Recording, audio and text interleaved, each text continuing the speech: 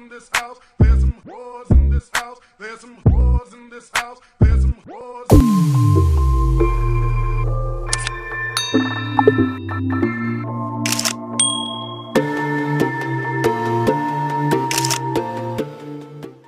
Hi everyone, this is Melanie. Welcome to my videos and I'm so excited. This is my very first video. Actually, not very first. Meron na ako mga na-upload before, my old videos like I'm dancing, TikTok. But this time it's gonna be different. I'm going to show you guys one of the best things na binili sa akin ng aking asawa. And this is the Ninja Foodie. It's an air fryer, actually a combination of air fryer and pressure cooker. I was so happy nung binili ito ng asawa ko because nabawasan yung hugasan ko.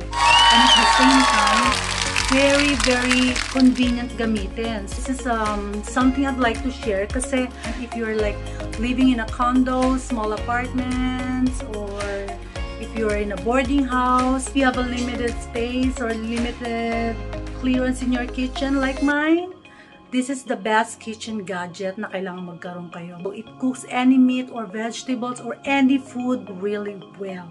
Anyway, I'm going to use the air fryer for my chicken inasal. What are we waiting for? Let's start now. Ayan, nakasaksak na siya. So this is our Ninja air fryer. It's actually a combination of air fryer and a pressure cooker. And it's also a broiler and a steamer. So it's like four in one. One more thing I really like about this appliance is that it comes with this very nice non-stick pot. See? So, malaki siya and sigurado marami kayong malalagay. And also the crisp and fry basket that comes with a diffuser under it para hindi siya naka rectang nakadikit sa pot.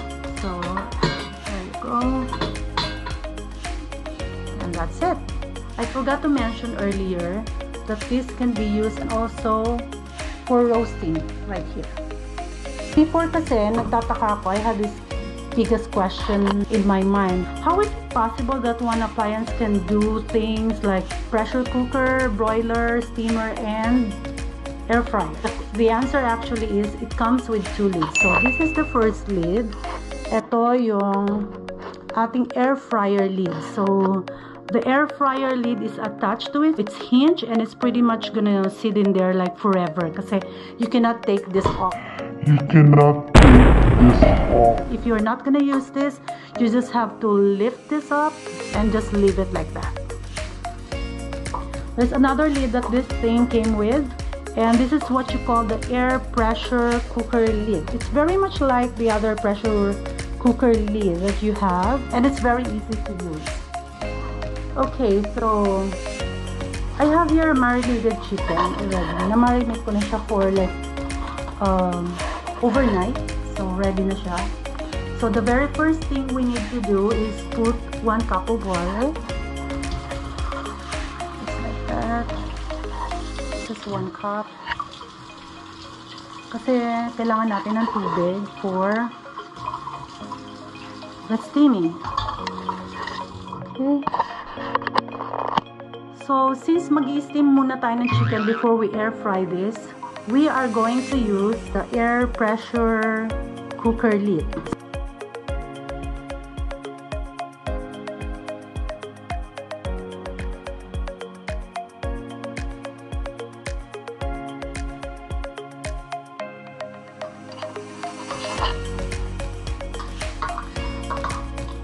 And this is something like uh, mang inasal style.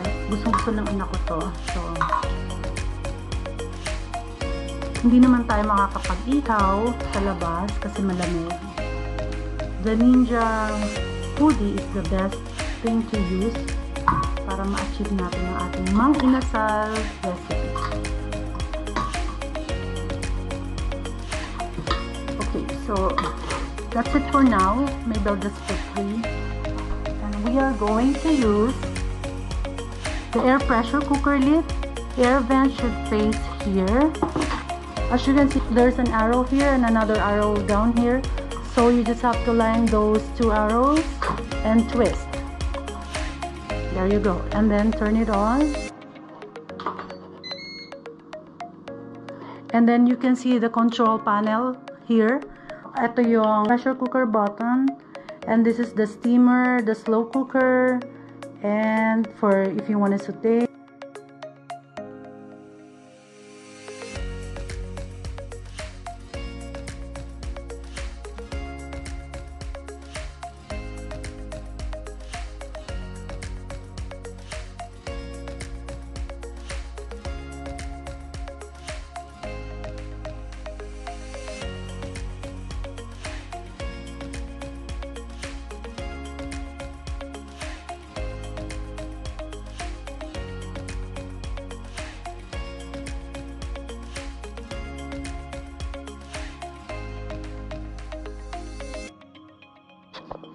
So as you can see the spinning digital thing on that little screen, it shows na nagbi-build up na yung kanyang air pressure. So remember we put 20 minutes on it.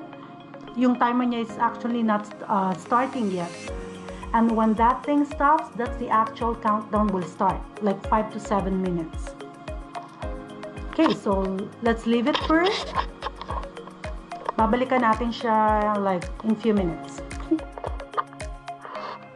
We have now 17 minutes and 20 seconds left. Iwanan muna natin siya. So there you go. As you can see, meron tayong 30 seconds. And then after this, magko-cool down muna siya ng konti before we release the pressure. We are actually using the pressure cooker lid while the uh, air fryer lid is right here on the side. Okay, so narinig nyo yung sound, which means it's, uh, it's all done.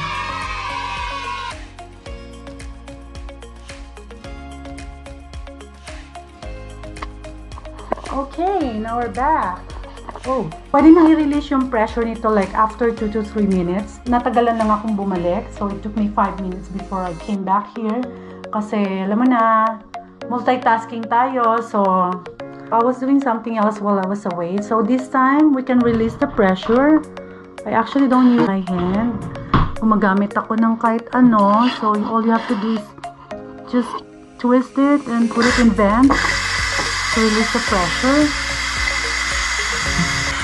And I think this thing's gonna go up when it's ready to open. I'm not sure.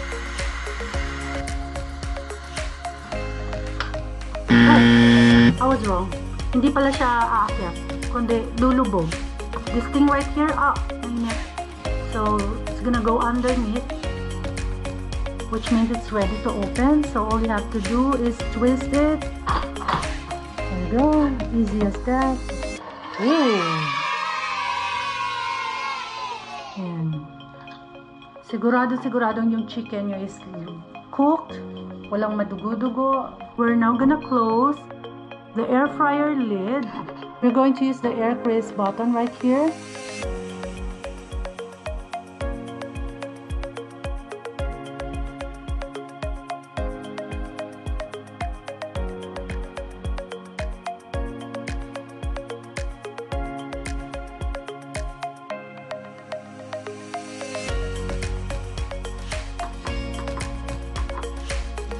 Seven minutes.